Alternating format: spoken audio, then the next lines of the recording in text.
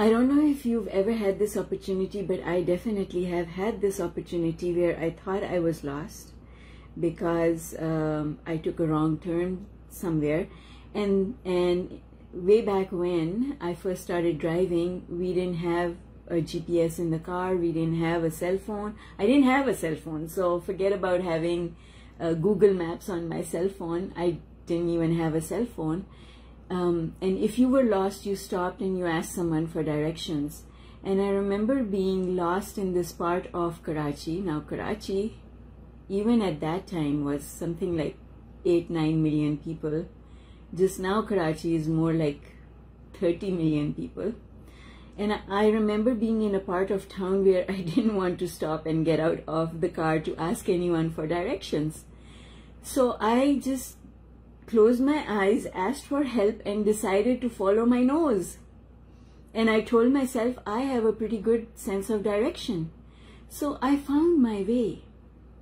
I found my way without having to stop and ask anyone outside of myself for direction.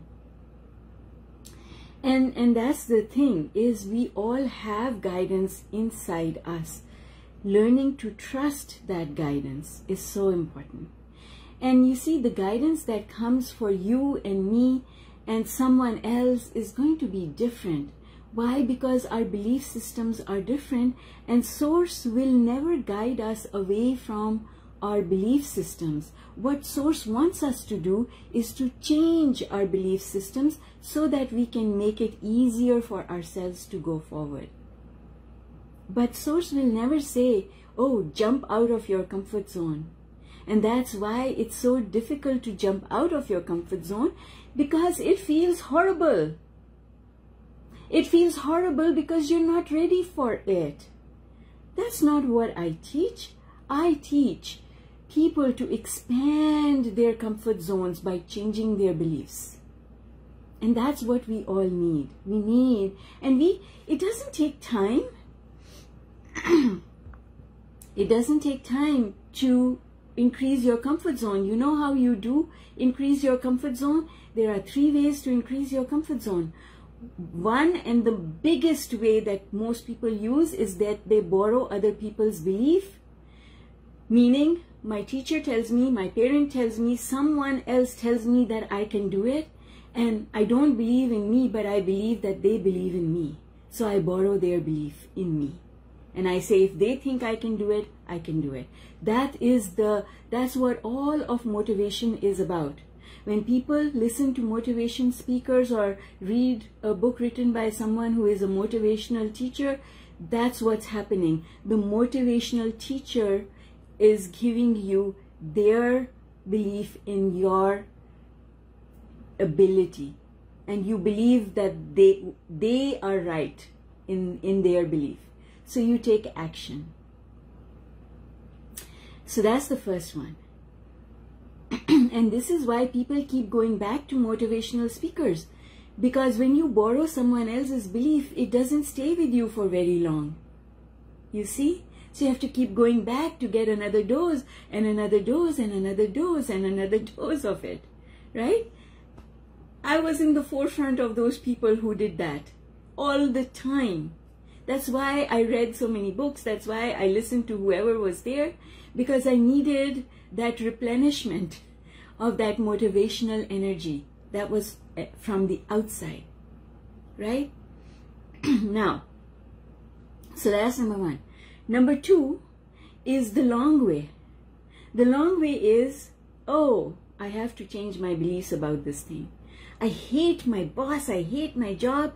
I'm going to sit down and I'm going to work on my feelings of hating my job and my boss and I am going to reconfigure the way I look at this situation because it's so important for me to hold down this job. I want to kick the job every single day, but I'm not going to do it because I need the job more than the job needs me. And so I am going to figure out a way to soothe my angst and continue showing up and continue smiling and doing a good job.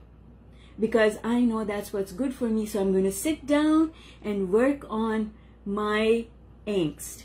Because your angst is a belief. You see? That feeling of angst is a belief. So we turn that around and now we can stick with it. And so many people do it and I, I have so much admiration for people because I know those people, some of them are my friends, that they spend 40 years working a job that they hate every single day. Some of them are my neighbors and they show up every single day. But their angst, because a lot of them are not working on changing their belief. They soothe themselves, but they don't change their belief. That's why the next morning they still wake up with the same belief and then it shows up in their bodies. Those are the people who go around with problems in their body, whether they look overweight or whether they have a, a health situation going on, it shows up in their body. That's where they're storing all that stress. And that's happened to me as well. I've stored stress in my physical body and I know it. Now I know it. I didn't know it back then. Right? And I, it still happens to me. And I, I know it's happening and then I have to work on it to get rid of those beliefs. So you have to not only get rid of the physical symptom, but you also have to get rid of the belief that caused it to happen. Right? And that this is why diets don't work for a lot of people because they try to get rid of the physical symptom, but they don't work on the mindset that created it. Right? And so that's the second thing. The third thing The third thing is that you drop the negative belief right there and then. You just say, not doing that anymore. Right? You're standing right there in front of the deep end of the swimming pool and you look at the water and you're afraid. And then you say to yourself, I don't need to be afraid. I can do this. So you coach yourself. You become your own motivational coach you tell yourself, I can do it. And in the moment that you do it, that belief shifts and now you can do it. Haven't you done things like that? It's that courage. In the movies, you see that high school kid getting the courage to go and ask that girl out.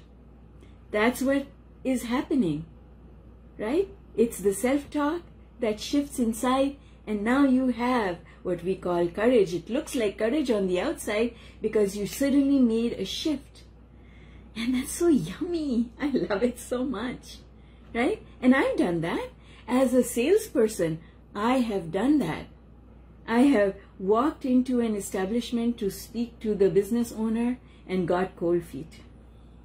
And then I have stood there and breathed and told myself, if other people in your organization can do it, you can do it too.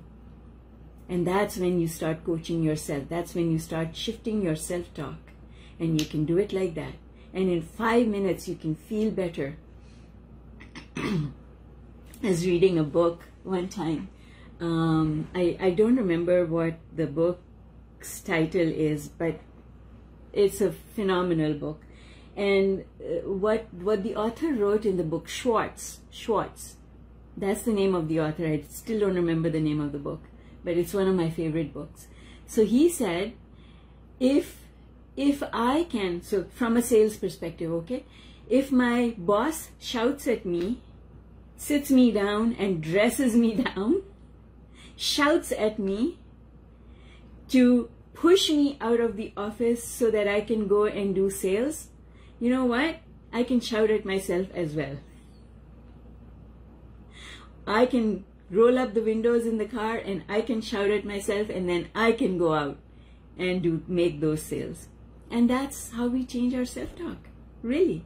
That's how we do it. Right? So those are the three ways that we